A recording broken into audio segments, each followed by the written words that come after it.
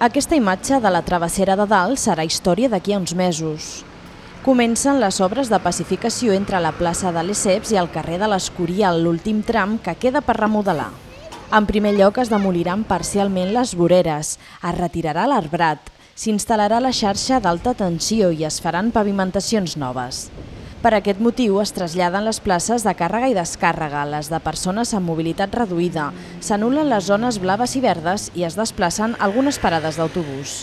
Les obres, a més, permetran apropar els barris de cada banda de la ronda tant per la potència del viari que tenen al mig com per la diferència de cotes que separa una banda i l'altra, doncs són barris que han estat més incomunicats. Amb aquesta nova urbanització s'intenta apropar al, als veïns de tots els barris amb actuacions de més passos de vianants, amb més freqüència i de, el tema del pendent que hi ha d'una banda a l'altra intentar resoldre'l de la millor manera possible. La pacificació d'aquest tram permetrà tenir voreres més amples i reduir els carrils de circulació, un aspecte nou per la zona que es notarà també gràcies al soterrament dels contenidors de residus, al mobiliari urbà nou i a l'increment en el nombre d'arbres.